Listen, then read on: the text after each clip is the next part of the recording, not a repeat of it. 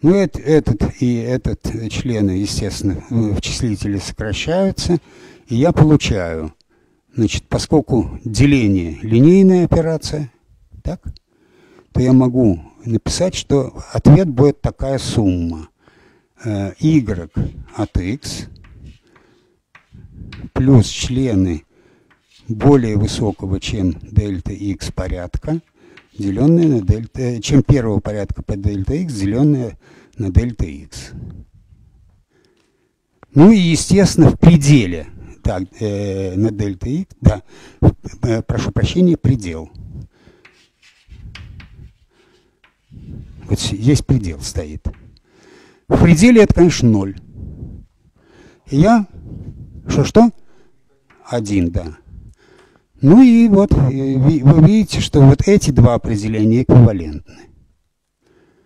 А теперь скажем, что точно так же, как вот здесь вот я назвал производной функции коэффициент при главном линейном члене, точно так же я возьму функционал и вычислю главный линейный член по отклонению его аргумента от значения q от t.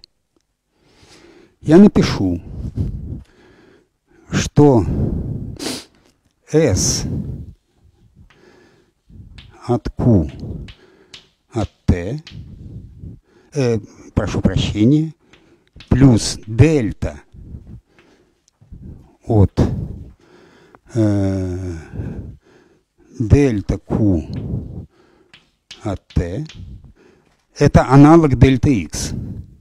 Но поскольку это функция, отклонение может, быть, может зависеть от времени внутри вот этого самого интервала, вот, то Э, я немножечко другой значок употребляю для э, дельта маленькая, а не дельта большое, для э, обозначения отклонения. Ну и пишу по определению. Это что такое? Это интеграл от t1 до t2 по t L от Q плюс дельта Q Q с точкой плюс дельта Q с точкой. Это вот я сотру выкладку.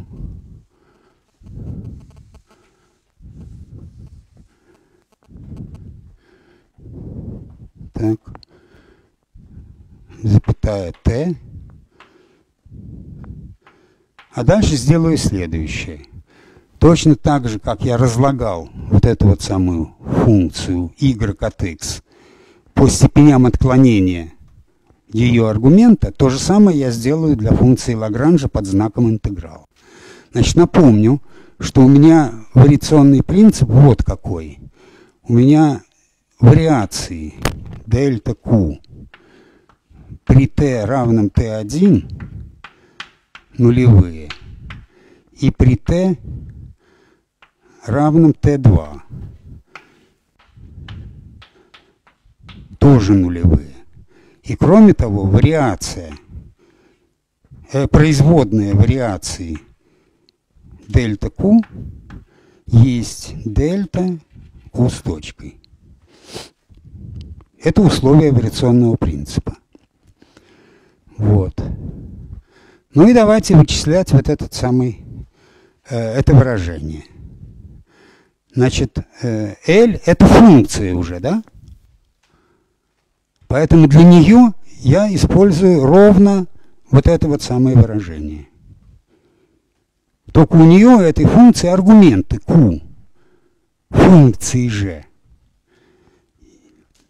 Тем не менее, если L есть явная функция переменных Q, то и у нее много переменных, то аналогом вот этого выражения будет более сложное. Я должен взять вариации по, по это. Если бы у меня эта самая функция зависела от нескольких иксов, то я сделал бы несколько членов при каждом иксе, правда? Была бы здесь сумма. Вот она сумма здесь и, и окажется. Значит, я пишу интеграл от t1 до t2 по t Вот какое выражение. Значит, L от Q, Q с точкой T плюс DL DQ дельта Q с точкой, э, дельта Q на дельта Q. Это аналог дельта X. Плюс частная производная DL dq с точкой дельта Q с точкой. Все. Плюс О маленькая, как вы говорите, от дельта Q. Значит, ну, конечно, мы считаем, что э, эти самые отклонения, траектория такая, что отклонение ее, самой ее, и ее производных по времени малы. Что это означает? Вот эта вот траектория не слишком, это самое, э, достаточно гладкая, чтобы производные по времени не были, не, не были большими. Понятно, да? Она гладкая, потому что ежели бы я э, допустил э, вариации, где какой-нибудь такой вот угол, то была бы бесконечная производная, правда? Вот этого я не допускаю. Поэтому отклонения гладкие. Формализовать строго это тоже можно на языке теории функций. Сейчас нам это не интересно, потому что эта э, формализация почти тривиальна. Вот. Что-что?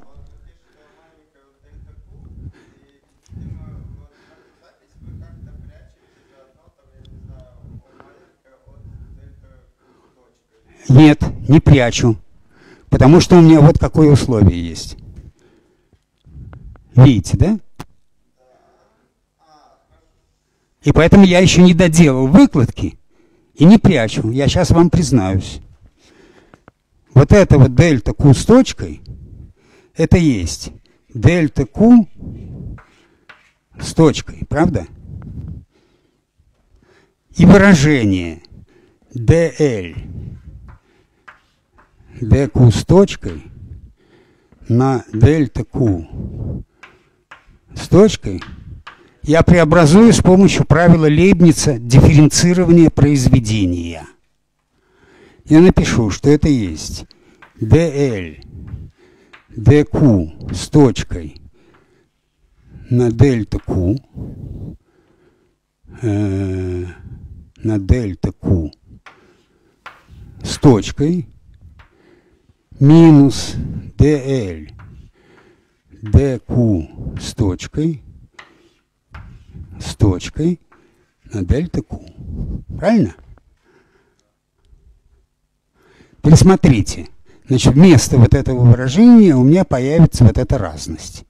Этот член есть что? Интеграл от полной... Вот когда я смотрю на этот член, то у меня получается интеграл от полной производной, верно? Он есть разность подинтегрального, дифференцируемого подинтегрального выражения для двух времен, Т2 и Т1, то есть на концах отрезка. А у меня условие, что вариация в этом случае ноль для этих точек. И этот член пропадает. Правильно? Он есть ноль. Значит, вот этот член есть ноль под знаком интеграла. И интеграл остается таким. Э, значит, этими членами я пренебрегаю, я потом напишу. А у меня получится следующее выражение. Э, значит, давайте я внизу напишу. Равняется интеграл по t от t1 до t2 от L от Q, Q с точкой T плюс.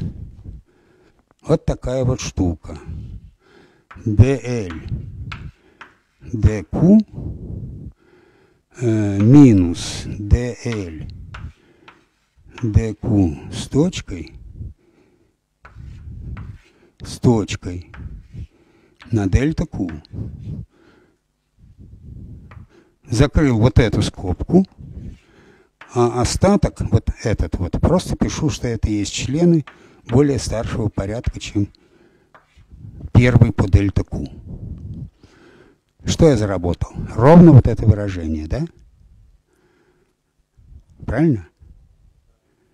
И производный, вариационный производный или функциональный производный называется коэффициент, вот это вот коэффициент, при главном линейном члене по вариациям функционального аргумента. Просто тривиальное и естественное обобщение обычной производной, вот в таком виде записанной. Значит, это есть равенство коэффициента при главном линейном члене есть условие экстремума. Так? Отмечать. Значит, отсюда я из принципа наименьшего действия я получаю, что он реализуется на таких траекториях, где вот эта квадратная скобка обращается в ноль. То есть dl dq минус dl dq с точкой с точкой равняется нулю. Что я сделал? Я вывел уравнение Эйлера-Лагранжа. Так.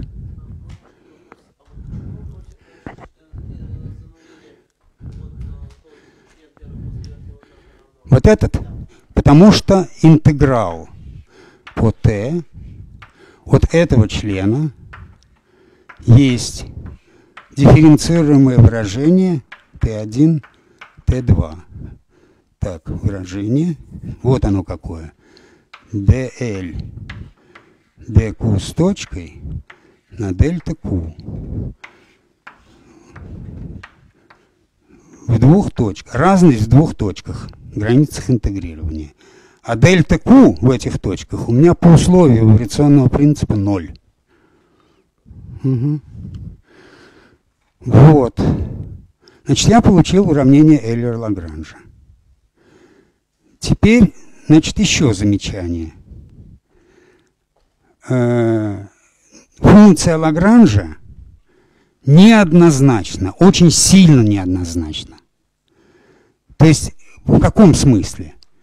Разные функции Лагранжа дают одинаковое уравнение движения.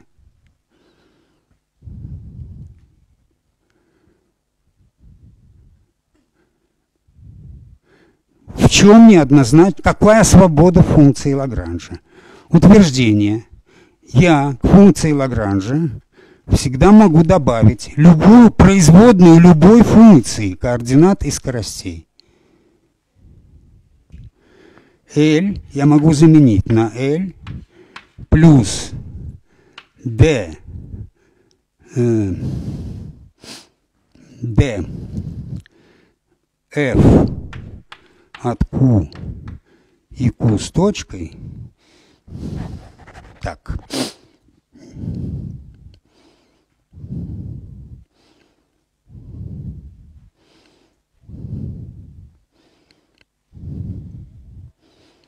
Не, ладно, не буду, только от Q. Усложнит у нас это самое, э, наши, наши выкладки, усложнит, если я допущу еще и производные. Df от Q по dt.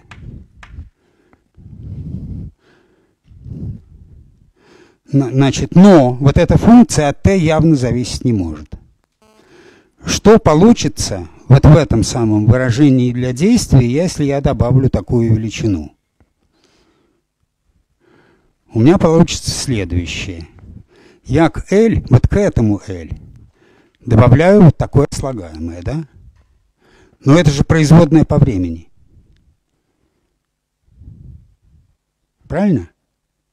А производное по времени у меня, э, значит, интеграл от производной по времени, это дифференцируемая функция. Значит, я получаю разность f в двух точках, t1 и t2. Правильно? А, э, значит, а, нет, извините, я же должен вариации еще взять. Я же вариации беру еще. Эти вариации будут производные f по q умножить на дельта Q. Я оставляю только первые члены. Главные линейные члены по вариациям. А вариации на концах есть нули. Сами функции исчезают, а вариации их есть нули. Сама функция, э, разность f э, вот в этом выражении. А, нет, не так. Это же я. Ну да, разность f в этом выражении и вот в этом выражении пропадает. Вот. Поэтому, значит, функции Лагранжа можно добавлять любую производную от это самое, по времени от э, этой самой э, вообще произвольную, да, любую производную, производную любой функции от координат. Хорошо. Хорошо. Значит, ну, из, э, из-за этого несколько следствий. Одно из них, об одном из них я скажу прямо сейчас. Значит, когда я выводил функции Лагранжа для свободной частицы, я сказал, что э, условия эквивалентности всех инерциальных систем приводит к тому, что э, это самое, э, функция Лагранжа уже являющаяся функцией только квадрата скорости. Она по, это, по этому квадрату скорости линейна. Вот давайте это, выражение, это утверждение сейчас я и докажу. Потому что я без доказательства его вам выписал. Итак, значит, что теперь здесь мне? Значит, здесь мне уже больше ничего не нужно.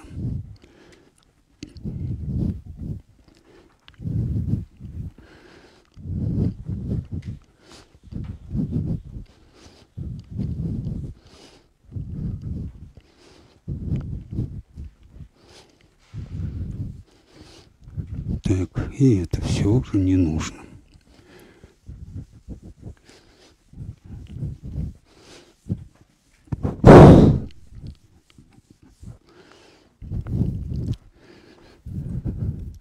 Так, у меня, благодаря требованию, э, одноро, э, требованию, вытекающему из однородности времени, функции Лагранжа для свободной частицы, которая есть функция r, r с точкой вообще говоря, и t вообще говоря. Значит, однородность времени зачеркивает зависимость от этого самого времени, а однородность требования, следствие однородности пространства зачеркивает зависимость от этого самого э, координаты, декартовая координата это, а э, изотропность пространства, то есть требование инвариантности L э, относительно поворотов декартовых осей вокруг любой оси, утверждает, что L остается L. Есть функция только скалярной комбинации вот этой вот переменной. Ну, а скалярная комбинация это R с точкой в квадрате. Скалярное произведение. Что такое скалярное произведение, вы знаете, да? Ну, вот, э, напомню на всякий случай. В декартовых координатах скалярное произведение двух векторов А, которые есть... Э, ну, давайте напишем так. А1 на Е1 плюс А2 э, на Е2 плюс А3 на Е3. Е1, Е2 и 3 – это единичные орты в декартовых координатах. Квадраты этих векторов, скалярный квадрат, длина этих векторов, то есть скалярное произведение этих векторов, э, единицы. И то же самое для b. Когда скалярное произведение А на b обозначается вот такой скобочкой, э, и есть а1, Б1 плюс А2, Б2 плюс А3, Е3, э, Б3. А по этому определению r квадрат есть r1 квадрат плюс r2 квадрат. С точкой давайте писать. Плюс r3 с точкой в квадрате. Вот что такое вот этот самый значочек. r с точкой в скобочках в квадрате. Так, теперь. Ну, а требование инвариантности, э, эквивалентности всех инерциальных систем отсчета означает, что в, э, в, в этой самой L должна сохраняться, иметь тот же самый вид и то же самое значение, ежели мы сделали, перешли в другую инерциальную систему отсчета. Что это означает? Что к R я добавил постоянный вектор V. Скорость одной инерциальной системы относительно другой. R с точкой плюс V, вектор V, это та самая скорость в квадрате. V я всегда могу считать малым.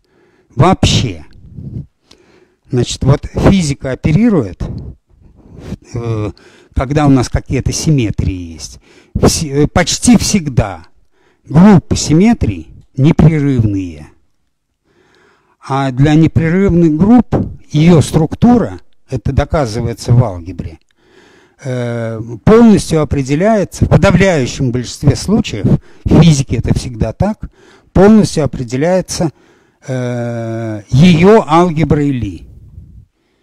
Алгебра Ли – это э, производные элементов, которые как раз и э, определяют… Производные элементов, э, вы помните, что производная – это что такое? Главный линейный член при добавке.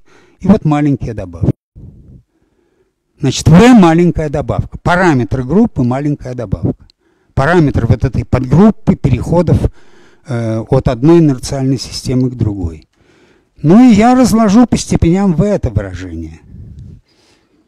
Так ведь, да? Имею право. Равняется dl по d э, r с точкой в квадрате плюс, э, извините, главный -то член я не написал. С него полагается начинать. Значит, L от V, э, от R с точкой в квадрате плюс DL D э, R с точкой r с точкой в квадрате. Ну и по правилу дифференцирования сложной функции я по v должен после этого продифференцировать аргумент, верно? Результат дифференцирования будет следующий. Значит, производная по v есть производная вот это вот э, есть R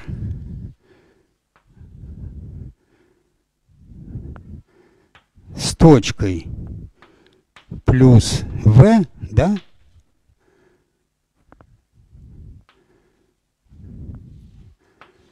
На V.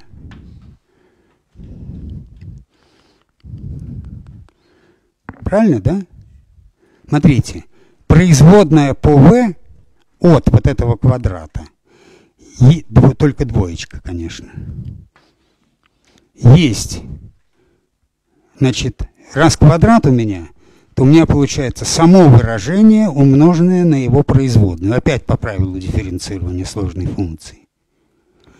А стоящее в скобках выражение линейно по v. И ее производная по v есть единица. А v это трехмерный вектор. Поэтому я вот когда считаю производную, у меня получается сумма вот таких вот выражений. Сумма производных по V1, э, линейные выражения по V1, V2 и V3. Оставляю я всегда линейные по приращениям да. Как?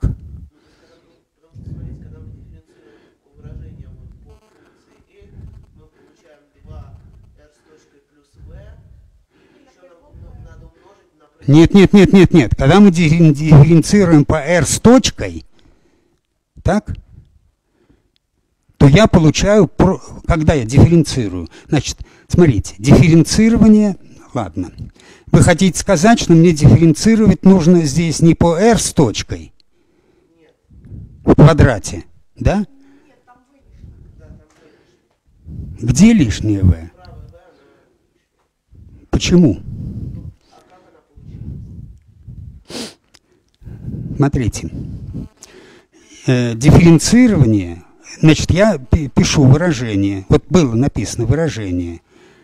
F равняется э, f от x, x плюс дельта x равняется f от x плюс, ну я уж прямо буду писать, d f по dx на дельта x. Вот это и есть дельта x.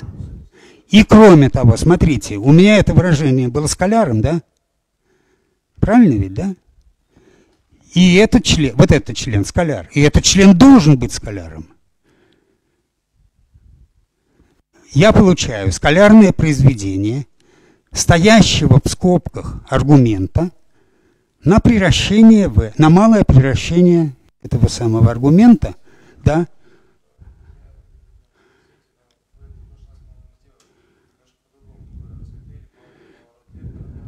это было для этих поворотов. От этого выражения я не, этого, этого вывода я не делал. Только от v квадрат. А что оно линейно не хватило? Нет. Нет, я этого не говорил. Я говорил только, что из требования эквивалентности всех инер, инер, инерциальных систем, получается, что R линейно по V, по скорости. Так поворот же. Это разные подгруппы. Э, когда я разлагал по, по, по углам поворота, то я получил выражение – когда по углам поворота, я получ, э, скажем так, я получил выражение, которое э, зависит, э, э должна быть инвариантность. Когда у меня поворачивается система координат, то к V, э, извините, к R с точкой делается добавка векторное произведение вектора поворота на R с точкой. Правильно, да? Как всякого вектора. В поворотах всякий вектор. Требование инвариантности означало тогда, что должна остаться функция только от этого самого э, э, сейчас должна что э, должен пропасть член пропорциональный углу поворота. Ну, и я написал ответ, выкладки не делал. А выкладка делается вот сейчас, вот таким ровным способом. Но там должна быть выкладка для группы, подгруппы Галилея, группы поворотов, а это выкладка для группы перехода, подгруппы перехода от одной инерциальной системы к другой. Вот, теперь смотрите. Значит, я э, я, значит, оставляю всегда только малые члены, когда разлагаю вот в такой вот, в такой вот, ну, не ряд, а когда использую такое разложение. Это поэтому я должен зачеркнуть. Значит, плюс члены более старшего, чем В порядка. Итак, вот это выражение должно исчезать. Вот это вот. Но если оно должно исчезать при всех r с точкой, то это означало бы, что вообще dl по dr с точкой равняется нулю. r вообще константа. L вообще константа. Что неверно. я вам говорил, что к функции Лагранжа можно делать добавки, которые есть производные по времени от функции координат. Правильно? И ничего не изменится. Значит, я должен потребовать, чтобы э, двоечку я пропускаю. dl dr с точкой в квадрате на r с точкой и на v это не зависящая от величины, от этой величины, от времени. И вообще ничего, не, постоянный вектор. Он коэффициент, так же как двойка. Чтобы вот это было производной по времени. Ну, здесь, конечно, тоже некие, э, если рассматривать общий случай, то некое занудство получится. Я не буду э, делать точные доказательства. Э, смотрите, r с точкой у нас уже производная по времени, да? Я же могу любую функцию, да-да-да. Не приравнять к нулю, а сказать, что член не дает вклада в уравнение движения. Функция Лагранжа-то неоднозначна. К ней можно добавить любую производную, функ... производную по времени от любой функции координат. Вот это у меня, фун... вот L-то сама зависит не только от координат, но и от скоростей, да? И, а R с точкой это уже производная по времени. Ну и, значит, чуть-чуть нужно поточнее э, ставить условия. Ну, не буду этим заниматься. Я скажу только, что если это константа, то я получаю полную производную по времени. И тогда требование инвариантности с учетом, что функция Лагранжа не это самое э, неоднозначно выполнено, вернее требование э, независимости уравнений движения от инерциальной системы выполнено. Ну, э, интеграл движения мы еще не говорили. Мы сейчас начнем говорить про интеграл движения, не сразу. Вопрос, ваш вопрос по делу, но давайте ответ на него я немножечко отложу. Вот, итак, dl, dr с точкой в квадрате есть константа. Это означает, что L есть R с точкой в квадрате на константу. Плюс вторая константа. Ну, когда э, э, это самое э, интегрирую по r с точкой в квадрате, то я получаю константа плюс константа интегрирования. Значит, еще одна константа. Константа 1. Число я вообще могу выкинуть из функции Лагранжа, правда? И остается вот это выражение для свободной частицы. Вот эта константа называется m пополам, где m называется массой. Значит, это я первый раз сказал слово масса. Дал определение массы точечной частицы. Масса точечной частицы – это удвоенная константа, которая стоит в функции Лагранжа для свободной частицы.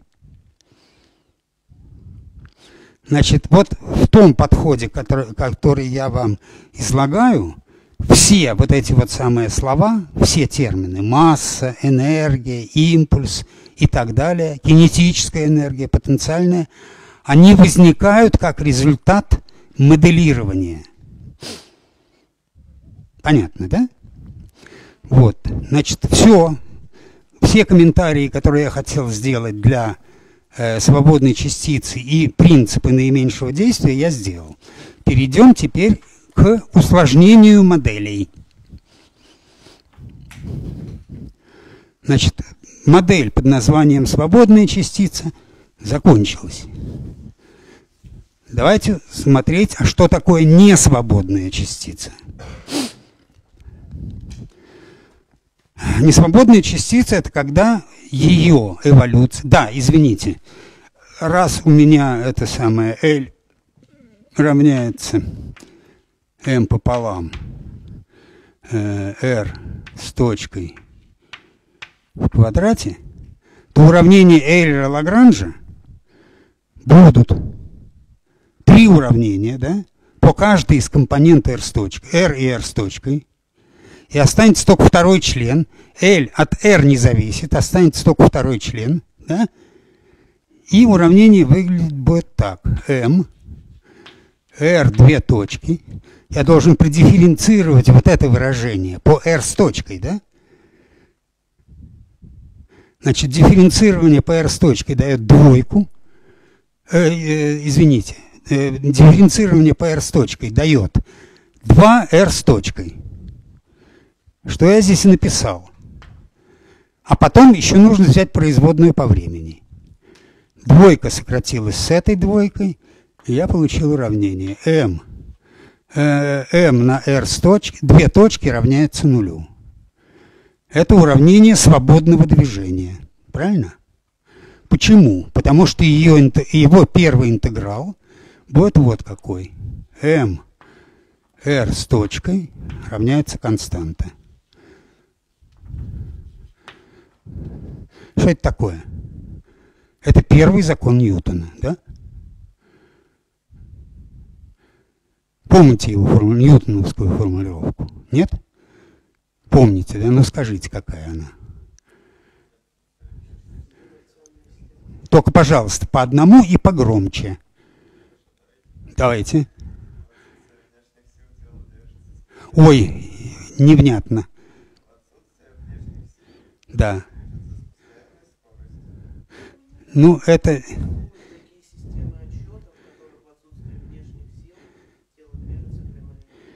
Ньютон, это слово система отсчета Ньютон не говорил.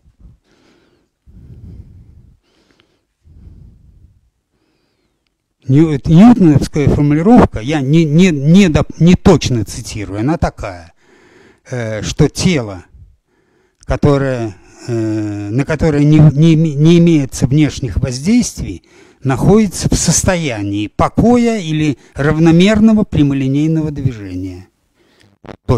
Ну, точная ньютоновская формулировка.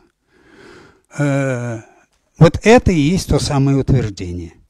Когда кон константа равна нулю, это покой, а когда r с точкой равняется константа – то это прямолинейное и равномерное движение. Кстати, вот когда я говорил, что э, каждая физическая величина рождается в рамках какой-то модели, то вот скорость, да? Постоянная скорость. Слово «постоянная скорость» эквивалентно равномерное движение. Так? Значит, вот э, в модели равномерное движение вводится понятие скорости. Как какое? Это та величина, которая сохраняется для данного типа движения. Ну, за исключением массы, почти все физические величины как раз и рождаются, как сохраняющиеся при определенных условиях. Значит, точное определение – дает условия сохранения, а, значит, это самое, э, э, дает, дается определение и применяется для этой, этого конкретного выражения уже для всех систем, во всех случаях. Вот это стандарт появления физических терминов. Мы сейчас это увидим. Итак, а что будет, когда у нас неравномерное движение? Ну вот Ньютон и наша собственная интуиция подсказали, что в правой части будет не ноль. Значит, э, неравномерное движение – это когда у нас ускорение не нулевое. Правильно? Это вот ускорение. Если ускорение не нулевое, то это движение неравномерное. А какая его причина? А как его, как эту причину оформить? Как оформить внешнее воздействие? Значит, мы заявили с самого начала, что э, на, все наши системы будут полностью характеризоваться функцией Лагранжа. Ну и как можно деформировать функцию Лагранжа свободной частицы для того, чтобы вот э, заработать ускорение. Значит, значит, я сейчас чем занят? Соображаю, как мне построить более сложную, чем свободное движение модель. Значит, и каждый раз соображая, говорю, а давайте я самую простую сделаю эту самую э, деформацию функции Лагранжа. И посмотрю, годится или нет. Во всех случаях годится самая простая. Но эта самая простая относится только к определенному деформации, только к определенному кругу явлений. Может получиться так, что мы для других явлений вот эта деформация окажется недостаточной. Тогда нужно строить новые модели и так далее. И вот физика и состоит из набора моделей. Каждая из них подобрана под круг явлений. И этот набор моделей на самом деле исчерпывающий. И все их можно строить ровно таким образом. Вот как сейчас мы будем переходить к этому самому, к функции Лагранжа не свободных частиц. Давайте сначала одну частицу посмотрим. Значит, утверждение, что для того, чтобы э, получить не нулевую правую часть, а это же уравнение Эйра Лагранжа, да?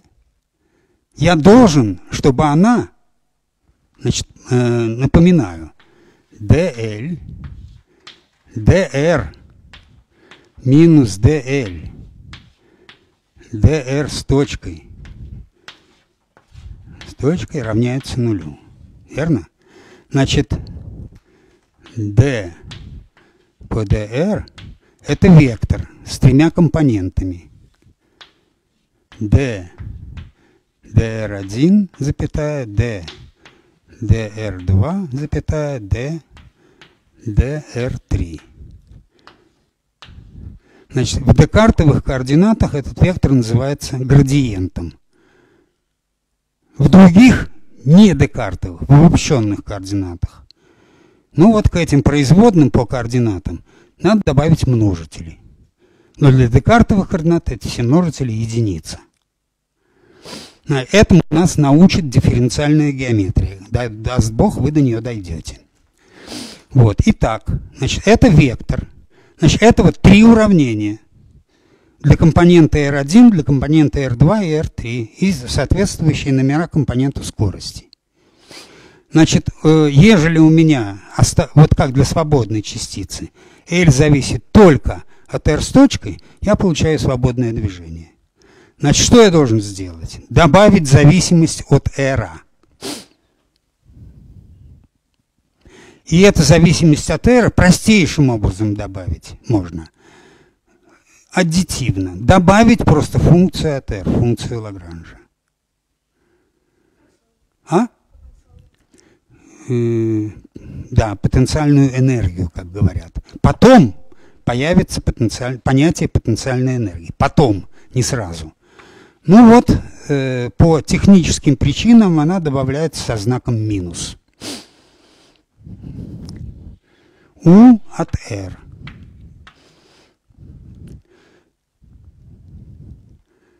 Так.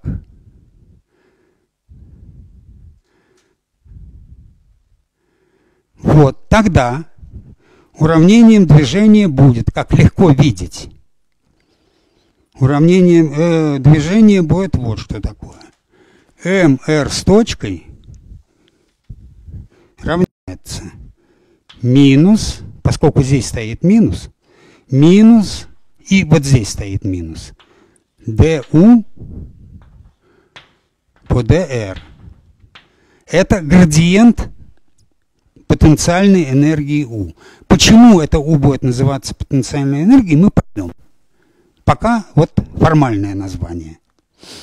И вот этот минус градиент потенциальной энергии называется сила и обозначается буковкой F. Он, за, она, вообще говоря, зависит от R. Видите, да? Вот. Вот это уравнение Ньютона, второй закон Ньютона. Значит, второй закон Ньютона возникает, когда я к функции Лагранжа со знаком минус добавляю потенциальную энергию. Почему эта вот величина есть потенциальная энергия, мы поймем довольно быстро. Хорошо, поехали дальше. Это у нас была одна частица, да?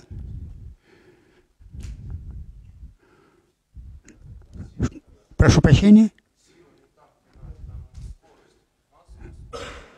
Масса на ускорение. На ускорение, прошу прощения.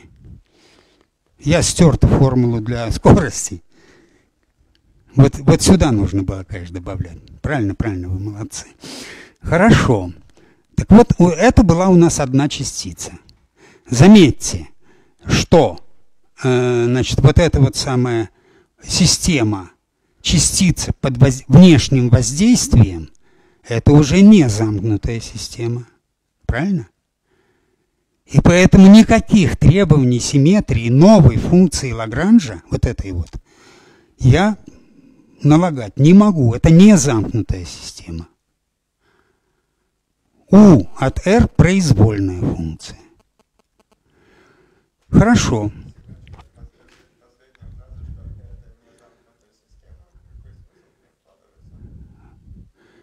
Э, замкнутой системой называется система, которая содержит, включает в себя все взаимодействующие друг с другом конституенты, части ее. Откуда взялась вот эта потенциальная энергия, какие внешние э, си, э, тела, там то все воздействуют на нашу птицу, мы не знаем. Мы не, мы не берем, вот сейчас мы будем это делать, но пока мы не пытаемся описать это внешнее воздействие на языке функции Лагранжа. Как только мы опишем и включим все, то мы мгновенно получим замкнутую систему и все 24 удовольствия от принципа симметрии. Так, возьмем две частицы. А лучше сразу n частиц. Значит, э, ежели у меня две свободные частицы, две свободные частицы, да, то естественно, что функция Лагранжа есть сумма их вот этих самых, как потом окажется, кинетических энергий. Значит, это не тривиальная модель. Например, эта модель – это идеальный газ. В идеальном газе его конституенты – молекулы, атомы нейтральные – вот, э, они считаются не взаимодействующими друг с другом. Точнее, он настолько газ разрежен, что взаимное взаимодействие, которое происходит с точки зрения механики, только при столкновениях. А гравитационным вза взаимодействием их уж точно можно пренебречь, массы у них совсем маленькие. Вот, так вот эти частицы идеального газа считаются не взаимодействующими друг с другом. И это вполне действующая и полезная модель она чрезвычайно полезна э, оказалась для ну вот, построения, создания э, подраздела физики, который называется статистическая механика или вообще статистическая физика. Она идеальный образец для вот, статистических закономерностей. Вот. Так вот, ежели у нас много частиц, то и свободных частиц, то их функция Лагранжа – Э, есть суммы кинетических энергий каждой частицы. А пусть теперь эти частицы взаимодействуют друг с другом. Как? Ну, значит, вот опять простейший способ – это считать, что вот эта вот потенциальная энергия порождена взаимодействием двух частиц, например. И опять простейший случай, простейший, как сказать, э, вариант этого взаимодействия для частиц. Это что такое? Это закон Кулона, верно? Когда потенциальная энергия есть просто единицы разделить на модуль расстояния между частицами с коэффициентами. Значит, э, законом Кулона называется взаимодействие, потенциальная энергия которого имеет вид едини... константы разделить на модуль R. R – относительное расстояние между взаимодействующими телами. Вот. Э, значит, неважно, откуда взялось это клоуновское взаимодействие. Это взаимодействие зарядов или взаимодействие тяготеющих друг к другу масс. Тогда это еще называется закон всемирного тяготения ньютоновский. Значит, это приближенное всегда, э, это самое э, предположение о виде потенциальной энергии. И приближения действуют когда? Когда у нас силы взаимодействия маленькие. А когда, в каком смысле, это опять мы установим дальше. А когда они становятся большими, вот это вот самое приближение, кулоновское приближение, надо улучшать. И вот, э, в случае, когда э, для тяготеющих масс достаточно э, кулоновского взаимодействия, достаточно для их описания. Э, ну, или когда это вот закон всемирного тяготения Ньютона. Значит, Кулон и Ньютон независимо эту формулу написали, считая, что эта формула относится только Ньютон только к тяготению, а Кулон только для э, электрического взаимодействия. Только. А потом физика показала, что это общая закономерность. Это приближение общих, общих более сложных функций Лагранжа и так далее. Значит, вот э, закон Кулона оказывается приближением, простейшим приближением э, науки под названием э, теория взаимодействия электромагнитных полей с заряженными телами – а закон всемирного тяготения Ньютона оказывается простейшим приближением ну вот релятивистской теории гравитации или общей теории относительности Эйнштейна. И так каждый раз. Поэтому, значит, вот э, э, э, физика устроена так.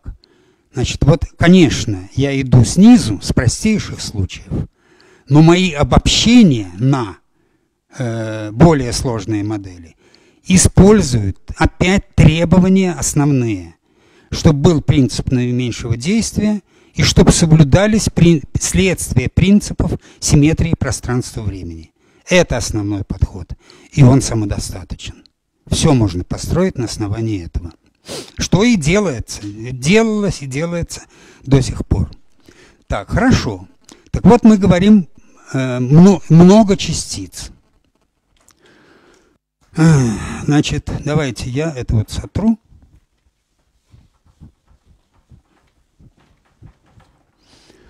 И напишем. Значит, каждую частицу я обозначу номером А.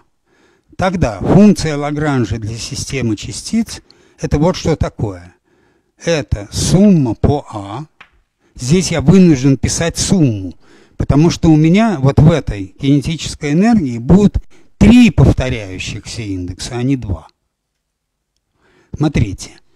МА пополам масса частицы А, R с точкой А в квадрате. Видите, здесь два множителя, два индекса А в произведении. И вот третий. Вынужден писать сумму.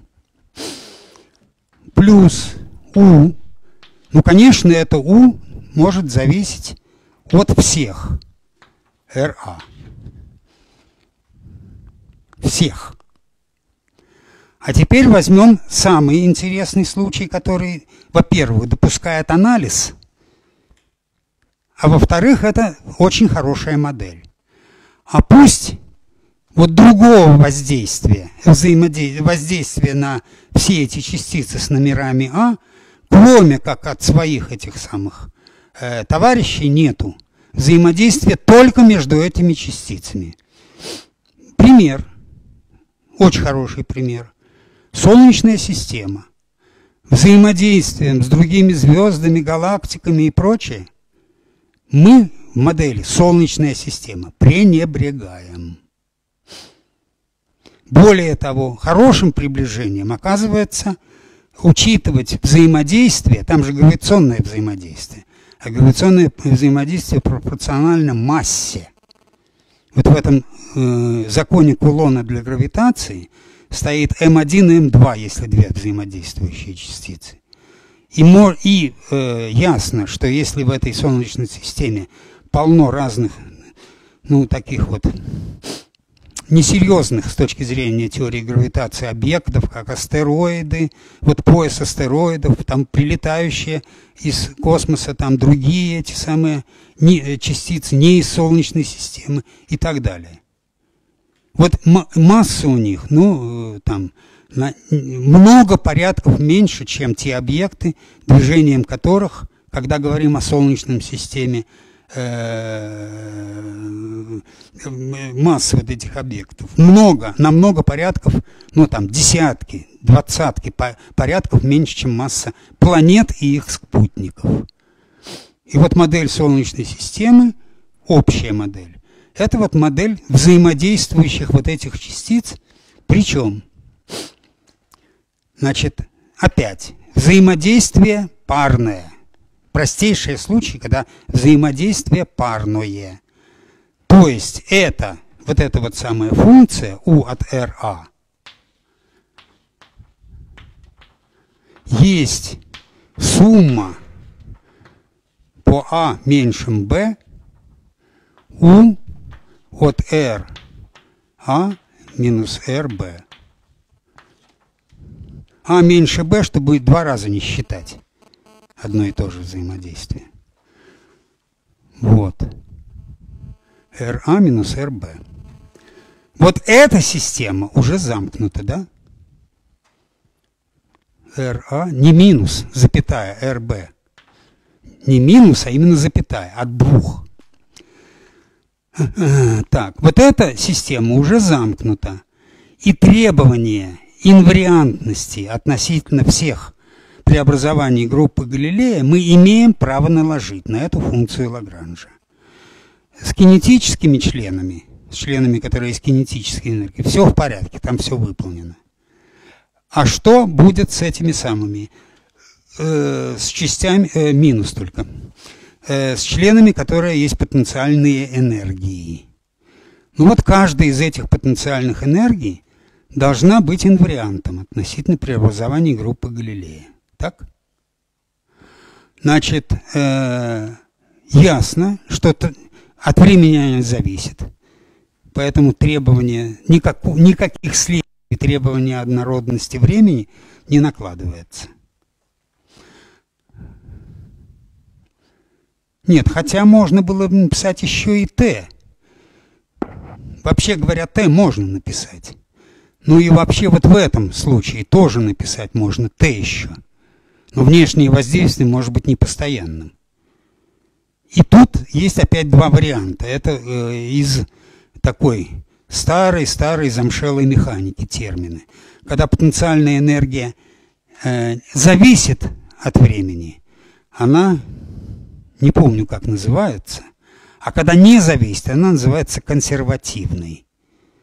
Консервативной это означает, что потенциальная энергия не зависит от времени, только и всего. Вот. Теперь здесь можно было бы написать время, да? Но, э, значит, вот написать время, это, как потом выясняется, введение времени, это переход от закона Кулона, самого простого взаимодействия, к более сложным, релятивистским и общетеория-относительским вариантам. Мы их пока не рассматриваем, мы рассматриваем самые простые модели. Здесь нет никакого времени. Значит, я должен удовлетворить э, трансляционной инвариантности, то есть э, этой самой э, изотро... однородности, требования однородности, следствию требования однородности пространства. Значит, ну, вот эта величина U не должна меняться, когда к каждому из RA и RB добавляю одинаковый вектор. У меня же все сдвигаются, правильно? На одинаковую величину. Все координаты, всех частиц. Когда это бывает? Когда U зависит только от разностей, верно? Тогда добавка в разностях пропадает. А когда эта добавка, э, когда это самое э, э, будет выполнено требование изотропности пространства, следствие изотропности пространства. Когда я могу поворачивать до карты оси, как хочу. Опять, когда эта зависимость от разности, есть зависимость от скалярной функции разности, то есть от ее скалярного квадрата. Значит, вот из принципов симметрии мы выявили, что U от RA, запятая RB,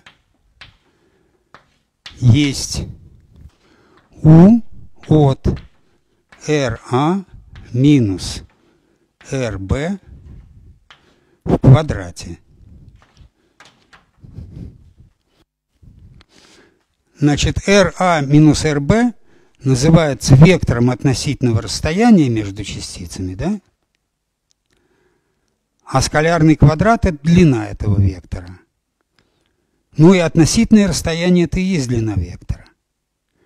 Значит, э, для системы, для замкнутой системы частиц, их парные потенциальные энергии могут зависеть только от скалярных, э, от Э, э, длины расстояния между ними.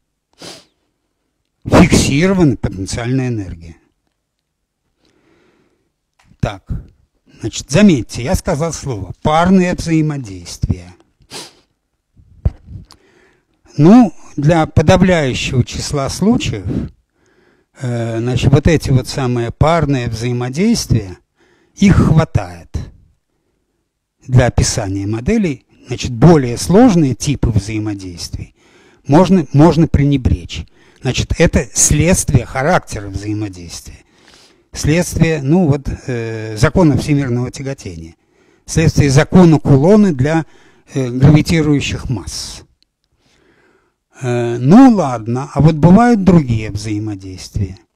И, допустим, следует учесть такие взаимодействия, которая зависит не только от пары частиц, от э, состояния пары частиц, но и, допустим, тройки, тройные взаимодействия.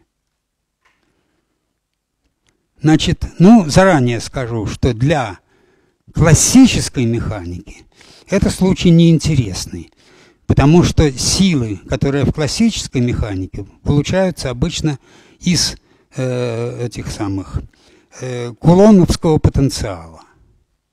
А для них, для кулоновского потенциала, э, значит, там тройные взаимодействия много меньше парных в каком-то смысле. Но вот у меня вопрос. А, э, как, ведь, да, а система-то замкнутая. Допустим, мы берем систему трех частиц. Это интересная задача. Например, э, задача вот какая. Луна, Земля, Солнце. Юпитер далеко, и масса его много меньше массы Солнца, и им можно пренебречь Юпитером, и тем более остальными планетами.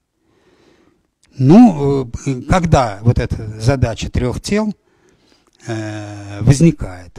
Ну, вот, допустим, когда мы рассматриваем э, эффекты, которые называются приливами, эффекты на Земле – бывают приливные воздействия от Луны и от Солнца. Но от Луны в полтора раза сильнее. Всего лишь в полтора. Поэтому солнечный... А? Как, как? Две целых? Нет, не уверен. Ну, поговорим.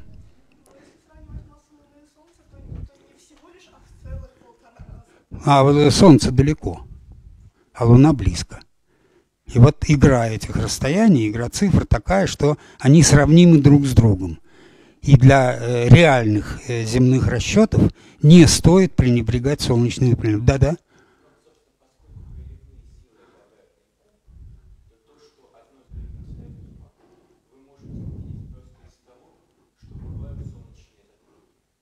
Не понял? Да, и тогда приливы сильнее.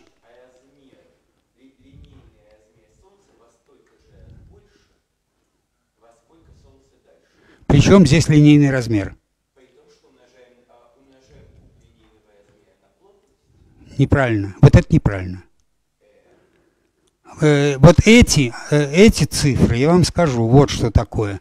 Поправки там типа одной сотой, одной тысячной, на линейные размеры.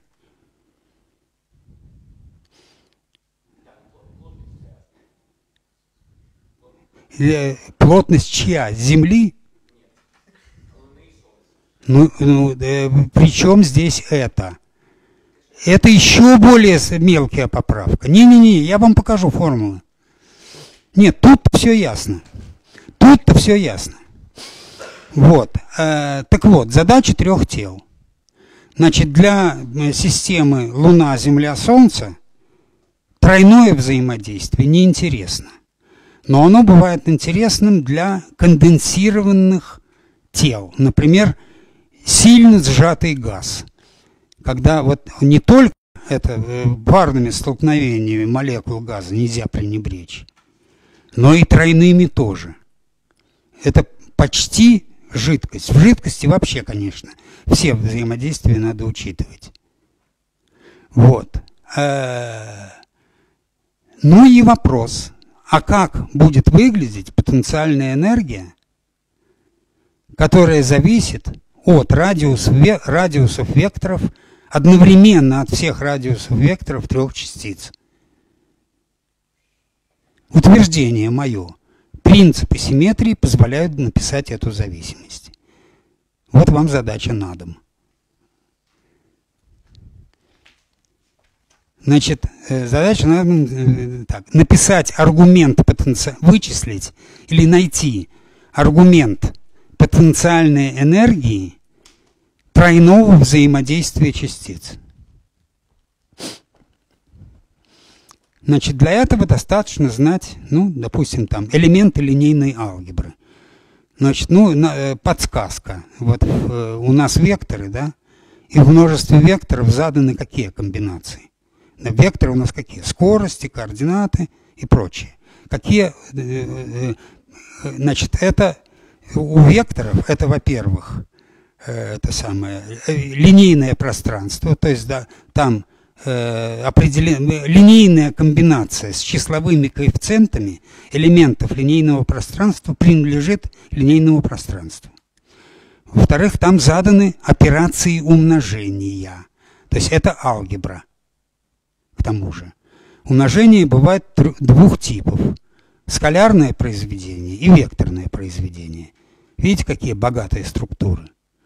Ну вот ими надо воспользоваться для того, чтобы найти аргумент вот этой потенциальной энергии. Хорошо, поехали дальше. Да?